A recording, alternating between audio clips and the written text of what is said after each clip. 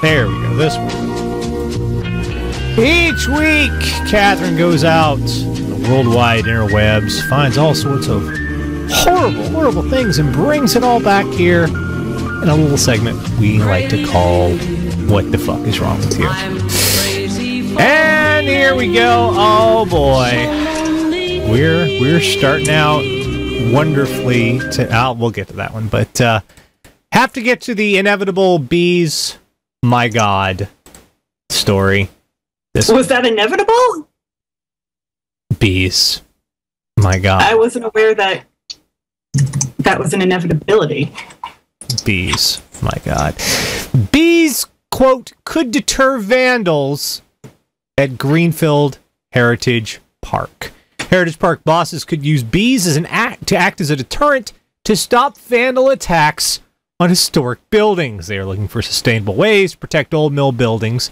Uh, one idea already tabled: using bees to deter people from going into the protected buildings. Planning Wait, at- what? Yes.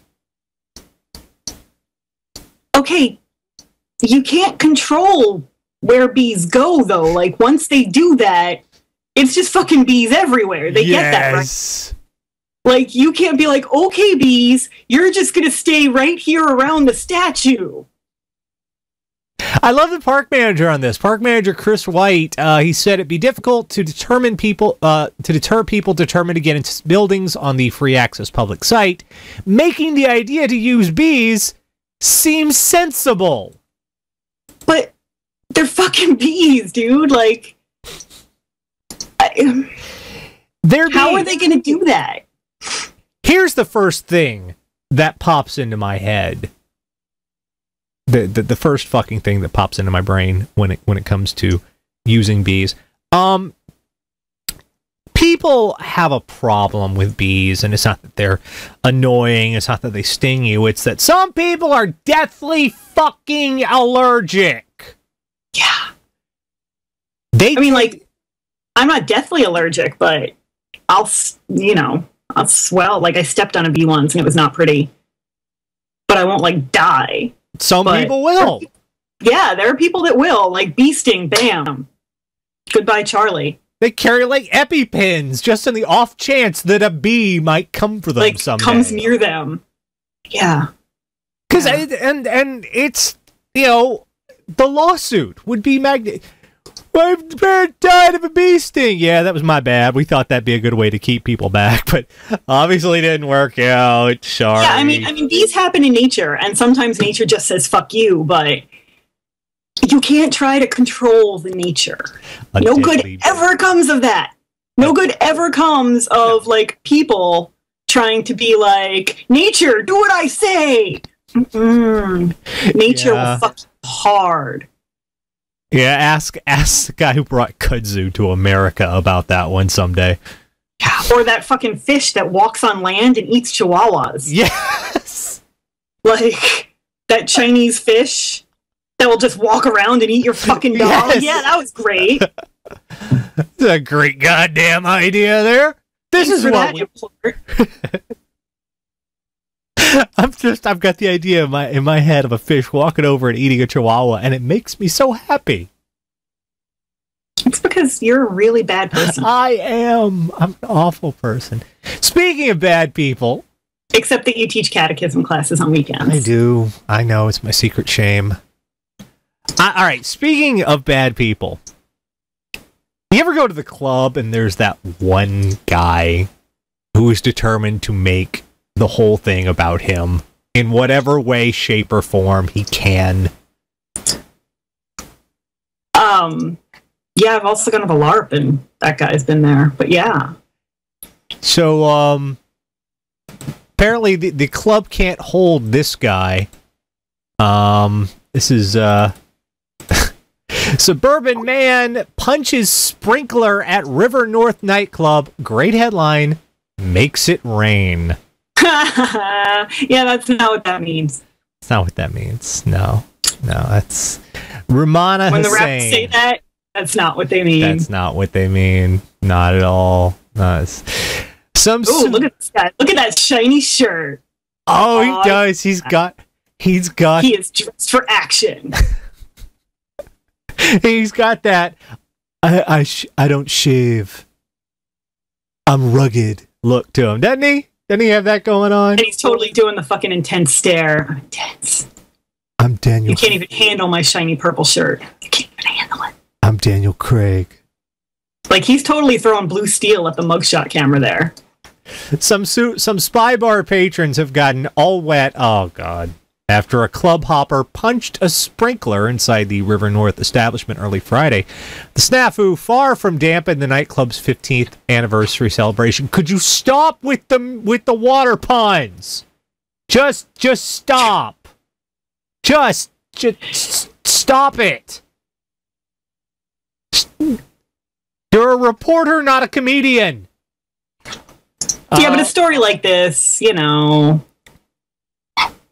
Um, Kluk, what's this guy's name? Samuel Klukas, uh, 27 of Burbank, have been spotted by the club before, but he's not a regular.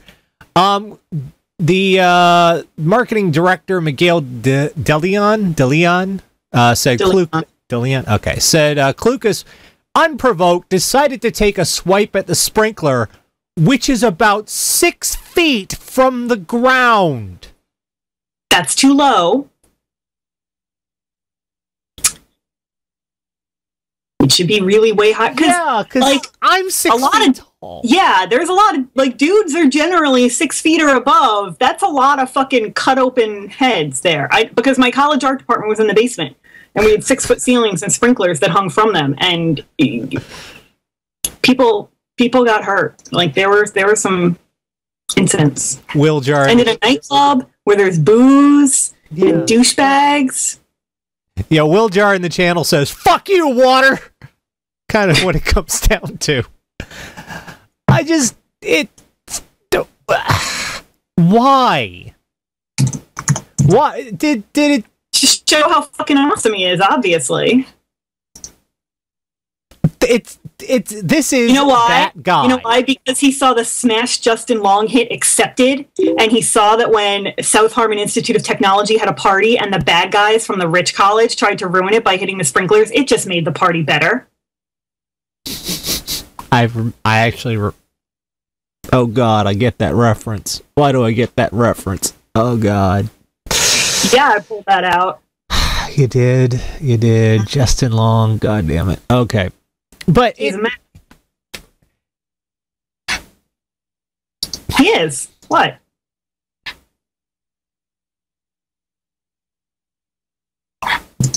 but I just when you're going to the club, you're not the only person in the club. Let other people dance, let them drink, let them have fun. Don't go. Everybody's not paying attention to me. Bam! Now they love me. You're like a five year old.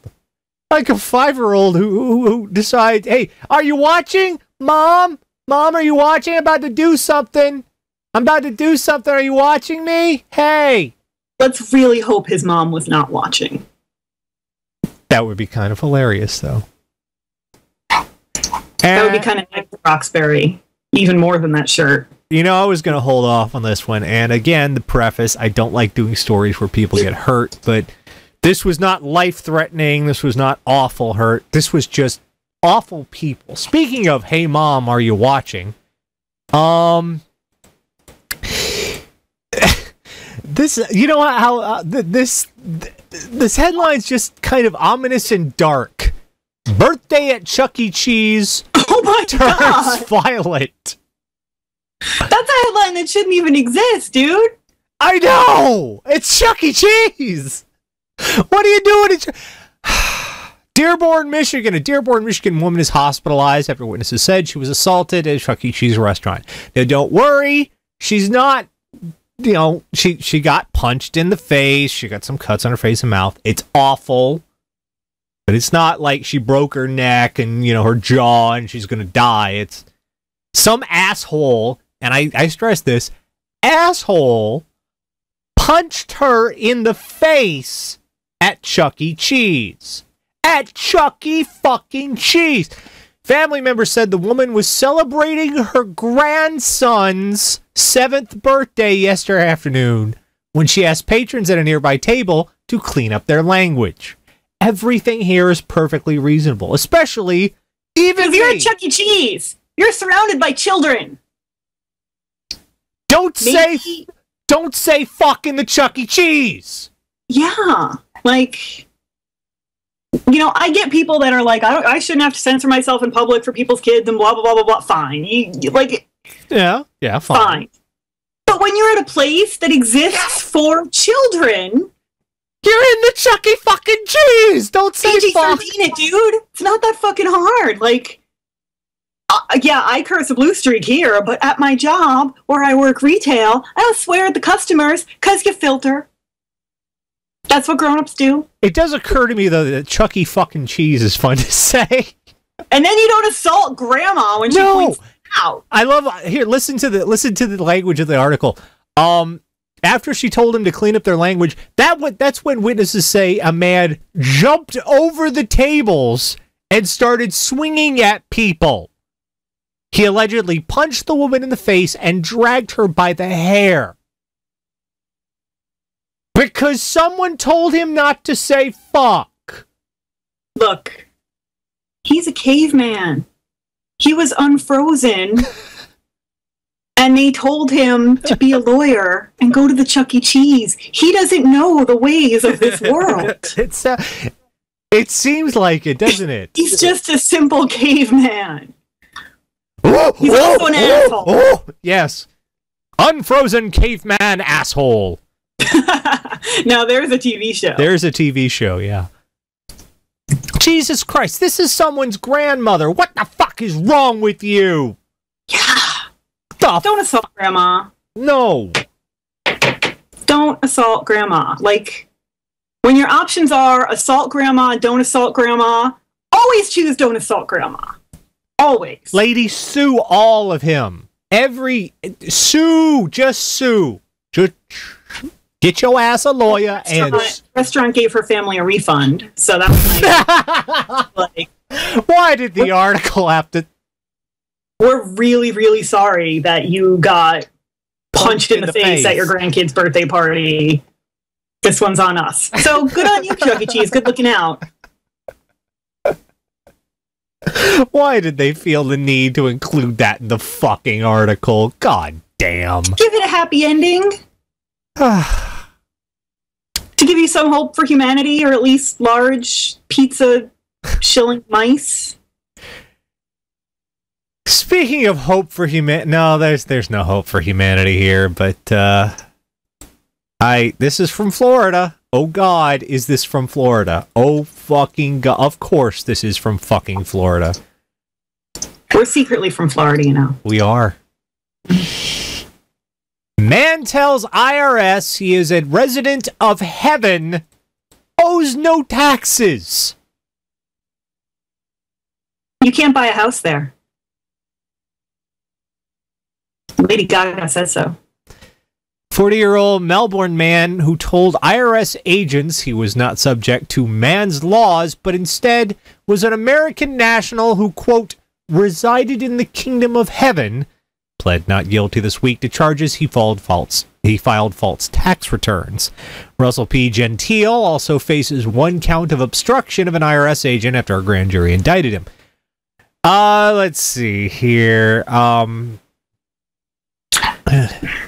Oh, this is what he said to the IRS. I have been as polite and patient as I can be. You have both violated the law by canvassing me outside your jurisdiction of the District of Columbia and exceeded the scope of your authority. Okay. The IRS kind of has authority everywhere. Yeah, in, in America. In America. I- yeah, his last name is Gentile. Well, if you're going to make that joke, you have to pronounce it Gentile. Gentile, yeah, I know, I know. But it, it's it's but yeah, if you're a resident of heaven, it's usually because you're you're dead. So if you're speaking to the IRS, you know what? If the IRS is bothering you, you're probably not a resident of heaven because that sucks. Yes. If I don't think they tax you in heaven because it's heaven. yeah, is the so things that suck by definition don't exist there. What would you tax in heaven? And Jesus really wasn't a fan of tax collectors. So, What what the hell would you tax in heaven? I don't know, cloud real estate? How would how would that how would how Tips made uh, playing the harp? Okay. This is Do you remember when you were a kid? St. Peter probably gets taxed on all those bribes. Do you remember when you were a kid and you were playing games like like freeze tag or like you know uh, red light green light, and that one kid would be like, "No, that doesn't work because I've got magic super armor." And. Calvin, yeah, I, I've got I've got got got sword of Grayskull, so it doesn't count. Yeah. And you know, no, I'm a Jedi. Didn't, didn't that's what this guy is like. Yeah. I'm concerned that he actually thinks he lives in heaven because he lives in Florida. First of all, Yeah. so if you think Florida's heaven, what do you think hell is like?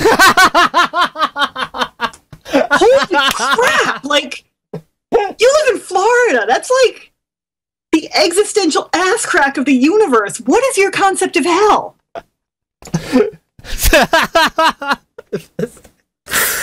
I got nothing. That's that. Yeah, I'm concerned for him. yeah. I did he really expect this would work as a legal defense? Did did he expect the judges to say, you know, we've been wrong all these years, and this man makes a good point.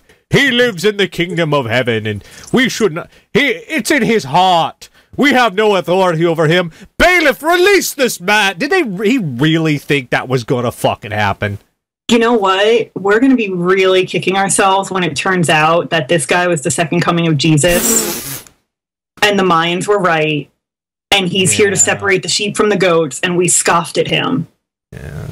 We're going to be so like we're going to feel really stupid as we burn in hell. Well, Like he's totally going to be like, "You know what? Tara Dinahan, you were you were a pretty decent person most of the time. You went to your catechism classes like a good kid. You didn't murder anybody." that we know of. but you fucking laughed at me on the internet. Directly to hell, do not pass go, do not collect $200, bitch. And I'll be like, well, fuck. While while we're on Punch in the the end zone. while we're on the subject of God, which is it's a fun subject to talk about because I'm sure no one's gonna have any problem with this whatsoever. No, I'm sure the chat will be really well behaved and respectful. Uh, um, this comes to us from uh, where is this one from? Scotland. Um, Scotland. It's not Scottish, it's crap. uh, while we're on the subject of God, driver was reading Bible as she drove on her way to funeral. Driver was quote deep in concentration as she rehearsed the passage to read at the funeral. Motorist told police she was rehearsing the passage to read. Uh, the driver, who's not been named, was stopped when traffic officers noticed her talking to herself and not watching the road as she drove. As officers drew alongside the car, the driver was found to be reading from a Bible propped up on the steering wheel. Upon being stopped, the driver tried to justify herself by stating she was on her way to the refu- funeral and rehearsing a reading from the Bible. Although the officers were sympathetic to the driver's situation, complete lack of vehicle control earned the driver a fine and points on her license. Yeah, I mean, that's lovely of you. Y- you want to if you're going to if you're going to be speaking at the funeral, you want to do a good job. You want to be respectful of the the dearly departed, Yeah. but find someone else to drive. I, I did she think God was going to give her a pass on a traffic accident? God probably will give her a pass. The cops won't. No. It's okay. I'm reading the Bible. God, God will part. He will part the traffic for me because Well, I I'm mean, the fact that she didn't hit anything, is a miracle. Yeah. yeah, I feel like God was kind of like, okay, Shelly, just, just keep going real slow. He's probably like, cops- where the where? God was probably like, where the fuck are the cops right now? Jesus, guys, can you get over here? Hey guys, could you get on that? Get, get Jesus. I, I got a what? Nothing. Nothing. It's just shake. God's up there like, I got a rant to worry about. I got fucking Mitt Romney on my shit. could you guys just take care of this lady? Thanks. Ugh, don't read while driving. Why? Wait, I don't. It doesn't even matter if you're reading. Hey, I love that she's reading. But read while you're stationary. I, I'm trying. Uh, the fact that she's actually reading, yeah, I tried. I try to try to be positive. yeah, but uh, I try so hard. I know. I just. Oh fuck. Oh. Why not read from the Bible at the funeral? Well, that's what she was rehearsing to do.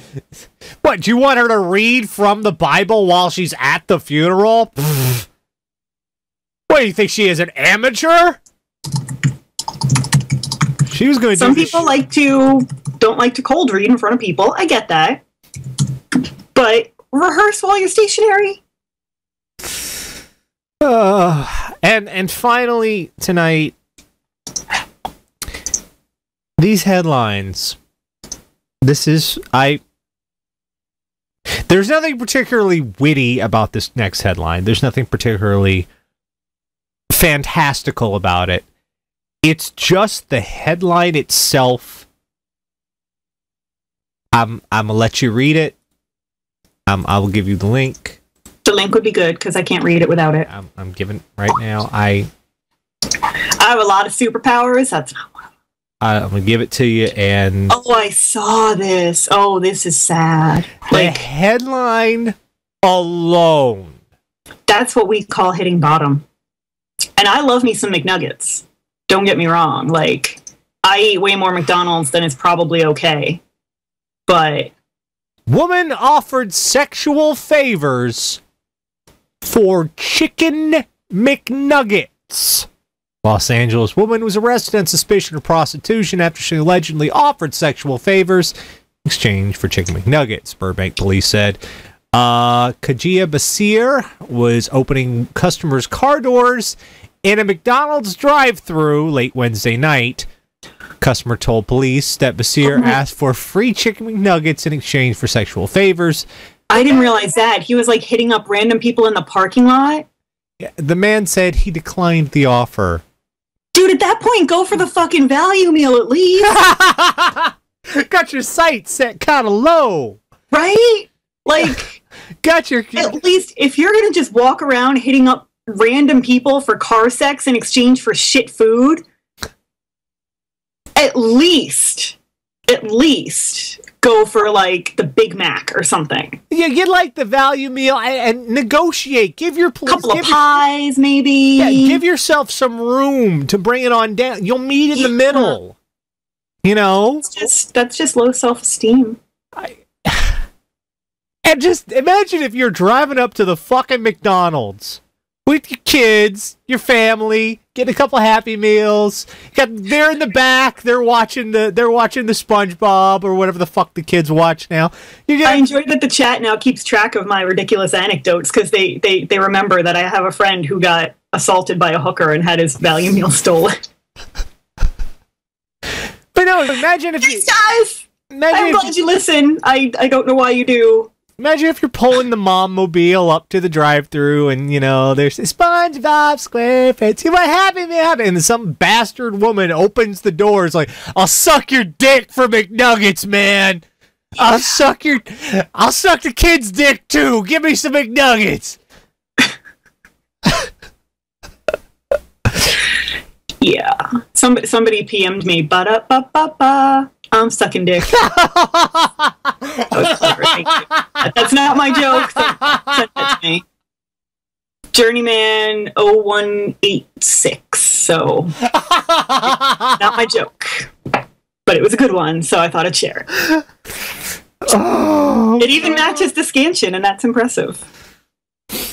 oh, why? You know what? If you're going to offer sexual favors in exchange for food, why not at least like hit up the Olive Garden or something? Like, like ch- chicken nuggets are a dollar for four. Get some A dollar. lobster going on there, you know? You're offering up your shit for a dollar. Why not just go for the cash and then buy the Mc? I don't. But I just I just worry for her self esteem.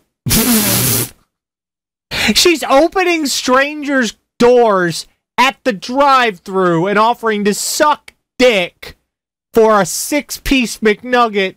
That's what I'm saying. Clearly, she has some inferiority issues. It didn't even mention the sauces. Because I mean, well, I think the sauce choice is obvious here. Why did I set myself up for that one? I think she's going for the white sauce. Oh God. If only Doug were here to bring up a hot pocket right now. Oh God. All right. So so what? what did we learn this week? Um, bees. Your deadly bee weapon is not a good idea. No. it- you can't control the bees. And it's You not can't like tell them, okay, you guys are only going to be in this area. This is the bee area. That's it. you know It's not out for you. if they were trying to keep people away from a nuclear power plant, that I could see. Yeah, put some fucking bees out there. Sure. No, because then you have radioactive.